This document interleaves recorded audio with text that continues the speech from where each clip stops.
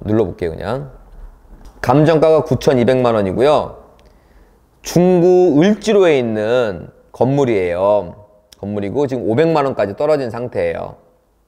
현재 500만 원. 9천만 원이 500만 원. 이렇게 떨어진 상태고. 여러분 여러분의 선배님 중에 한 분이 한 분이 이런 상가를 물어보러 온 게 아니라 낙찰받고 오셨어요.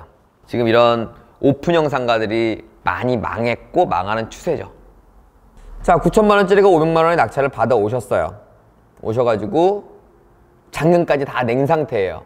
이제 뭐 보증금 띄고 이럴 게 없어. 잔까지 다낸 상태고 권리의 하자는 특별히 없었어요. 자 그분이 굉장히 나름 똑똑하다? 나쁘게 말하면 잔머리가 좀 좋다. 좋게 말하면 똑똑하다. 이런 정도의 분이었는데 그분이 낙찰을 받아 오셔갖고 이런 쇼핑몰인데 이걸 받았습니다 그러면서 대뜸 이거 어떡하죠? 해결 좀 해줄 수 있나요? 라고 질문을 하신 거예요 뭐가 문제냐? 라고 물어봤더니 뭐 이거라고 할게요 2층에 1.14평짜리 상가를 샀어요 실평수 한 평 백화점 가면 한 평도 쇼핑 되지 않습니까? 한 평짜리 상가를 샀는데 거기에 이제 무슨 조그만 옷가게를 하고 있었어요 에스컬레이터랑도 가까워서 괜찮았대 자리가. 그래서 월세를 10만 원 주세요 이랬대요. 10만 원이 큰 돈이에요 작은 돈이에요? 월세 10만 원 내고 장사할 수 있는 데 있어요? 없어요. 특히 이건 서울 아닙니까? 그러면 큰 돈은 아니지만 보세요. 10만 원의 이자를 받으려면 얼마를 넣어야 됩니까? 1억 넣으면 1억 통장에다 1억을 넣으면 한 달에 10만 원 주나요? 그럼 이제 1%면 얼마입니까? 100만 원이죠. 1억에 1%면 100만 원이죠. 우리가 지금 제로금리 시대라고 하지만 조금 고가의 이자를 지급하는 것을 보면 세금을 떼고 나면 1% 정도를 주는 데도 있어요. 그러면 100만 원 주는 거예요. 한 달에? 아니요. 1년에. 그러면은 뭐 아주 무식하게 계산해서 10만 원 나온다고 할게요. 그럼 내가 10만 원의 불로소득을 얻으려면 통장을 활용하려면 1억을 넣어놔야 됩니다. 근데 이 10만 원이라는 돈이 장사하는 입장에서는 크지 않은 돈이지만 이거 지금 최저가 얼마입니까? 500만 원입니다. 500만 원. 5천만 원도 아니고 500만 원이에요. 그러면은 1억에 얼마나 작은 돈입니까? 내가 500만 원을 넣어놓고 10만 원을 받는다? 이거의 수익률은 어마어마하죠. 그렇게 머리를 쓴 겁니다. 10만 원 내라는데 그것도 못 내면 아예 옷가게 접어야지. 라고 10만 원을 요구하고 그쪽에서 답이 없더래요. 그래서 혹시 먼저 전화를 하면 약간 기싸움에서 눌릴까 봐 전화도 안 하고 약 한 달가량을 버틴 거야. 그리고 이 사람이 왜 전화를 안 해갖고 가봤더니 그 옷가게가 공실이 되어 있답니다. 없어요. 자기, 자기가 낙찰 받은 그 호수에.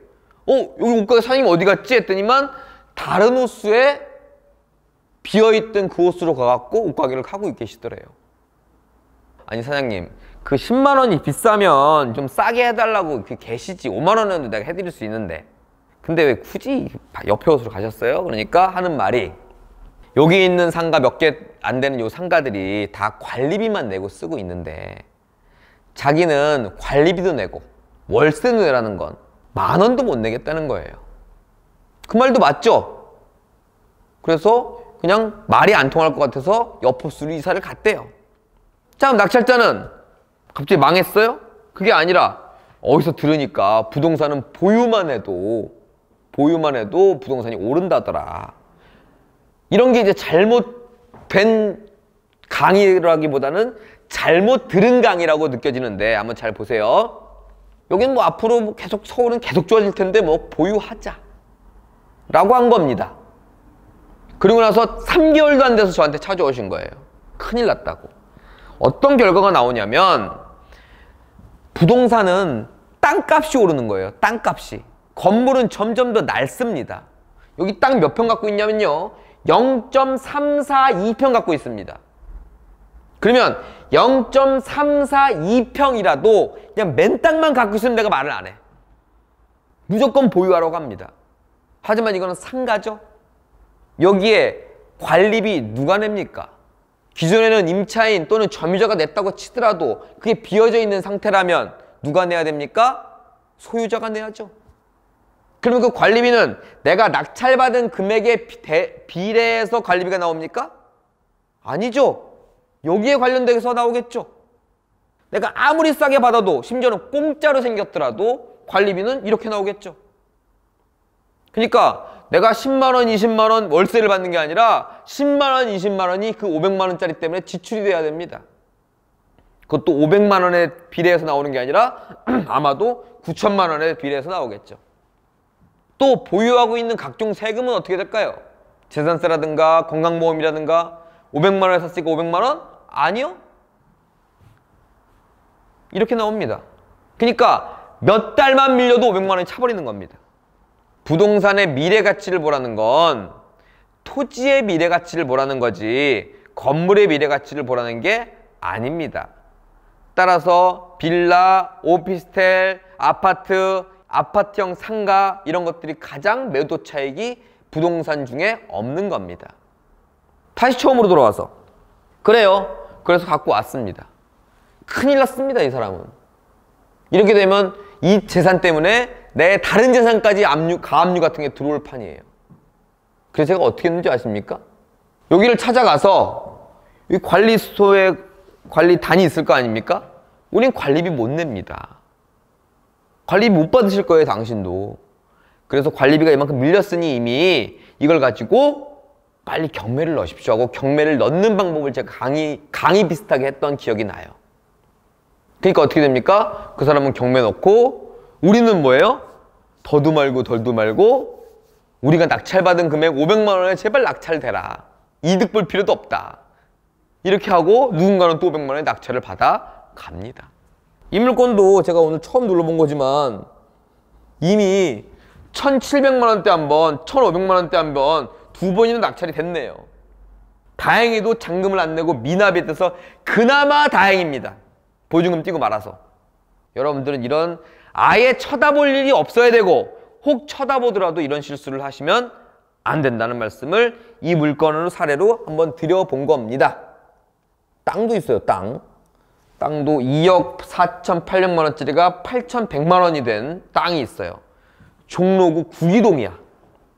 이것도 한번 눌러보고 싶어 죽겠어. 한번 눌러볼게요.